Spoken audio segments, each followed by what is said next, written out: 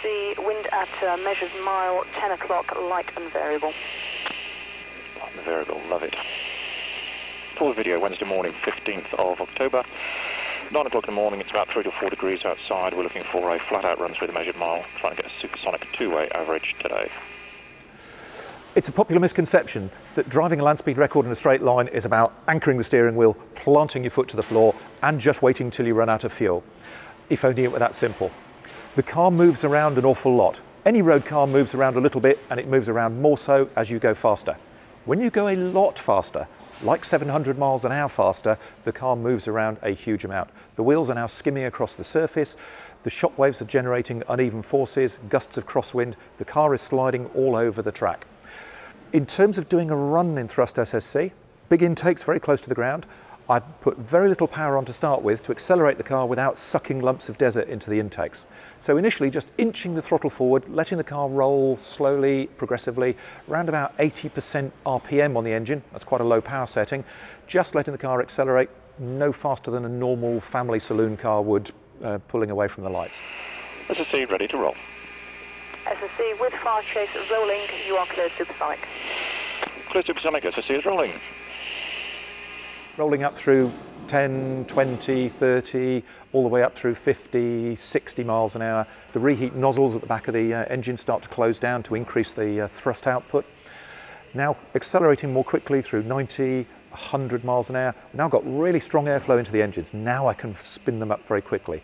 Ease the throttle forward to the dry stop the turbines spin up to maximum speed, they are now working flat out. To get more thrust, neat fuel goes into the exhaust and literally reheats the exhaust. Reheat.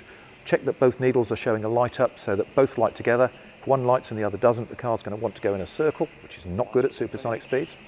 Having got both lit, ease my foot all the way down, both nozzles open fully, we get absolute full power and the car is now accelerating at something like 25 miles an hour every second.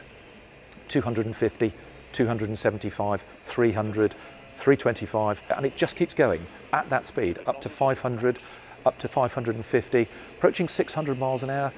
The airflow starts to go supersonic underneath the car, which affects the handling. It goes supersonic over the top of the car. 700, just about in control on the wrong line, don't worry about it.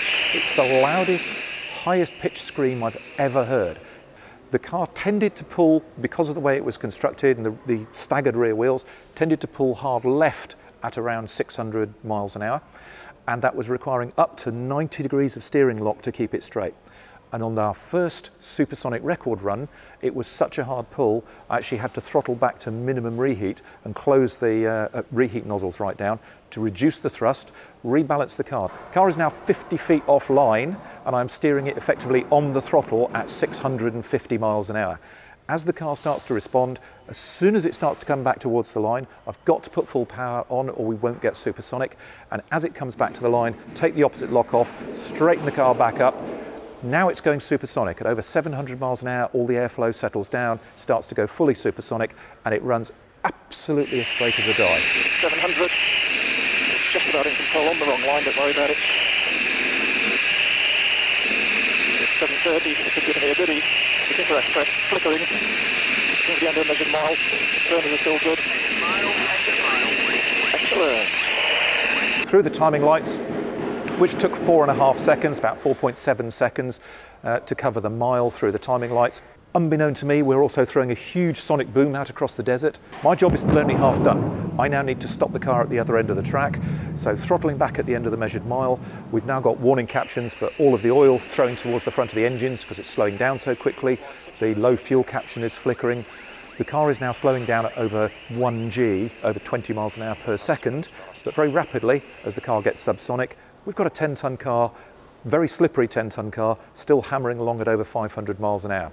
I'm waiting until the distance at the end, to the end of the track equals the speed I'm going, which is also changing. And when the two numbers match, punch out the parachute with a button on the left-hand steering wheel uh, yoke, and immediately parachute goes out, generates another four or five tons of drag, and bumps the deceleration back up to 20 miles an hour per second.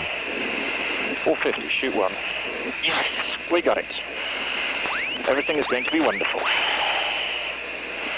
The car is now going to slow down, and I'm still checking the numbers, slowing down through 400, 350, 300 miles an hour. There's about two miles left to run, 250 miles an hour, 200 miles an hour, we've got a mile left to run. I'm now going to shut the engines down. They've had a few seconds to cool. We don't want to ingest anything else. So shut the engines down, start to ease on the wheel brakes. I'm now looking about half a mile ahead, at looking at the recovery crew, so that as we roll to a stop, I ease the brakes on and we stop exactly 14 miles from where we set off, right next to the guys who've got to turn a 10 ton jet car around, put the best part of a ton of fuel in, reload the parachutes, do a full systems and data check, and confirm it's safe to go back through the measured mile within one hour. So stopping in the right place is the key bit to starting the pit stop on the fastest car in the world. SSC, the car is stopped, mile 13.5. Copied. SS or station standby. SSC has stopped mile 13.5.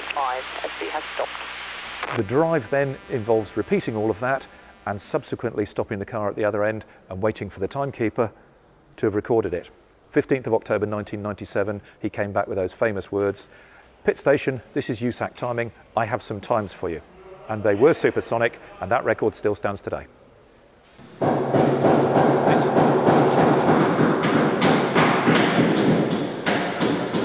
Rest of the bolts have just arrived, obviously.